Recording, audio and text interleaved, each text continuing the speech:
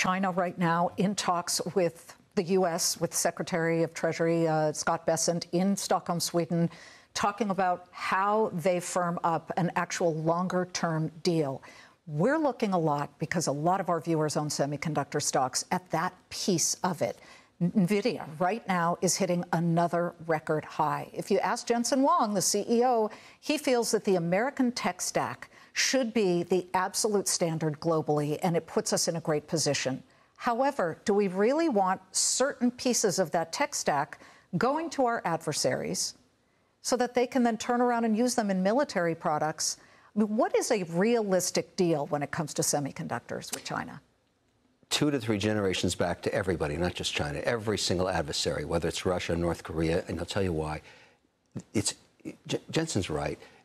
It's not just the chip. It's all the energy and money and billions of dollars of programming time that support the stack through the firmware and software written around it.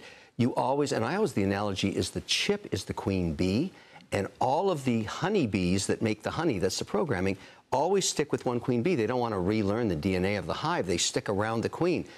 What he's doing is making sure that everybody is, instead of invent, inventing their own queen bees in China, which would be the Huawei chips, we don't want the Huawei chips filling in every void where he can't sell. Do we give them the farm? Do we give them the best of the best? No, no, no, no. You keep them back. My, I would have kept them back one gen because what's happening now, right now they're back three gen, two and three gens back. I think that the company should should lobby for just one gen back because then there's enough juice for them to make good honey, but not enough to win wars. This is about defense. The best AI in the military is, is going to win wars with robots just 20 years from now.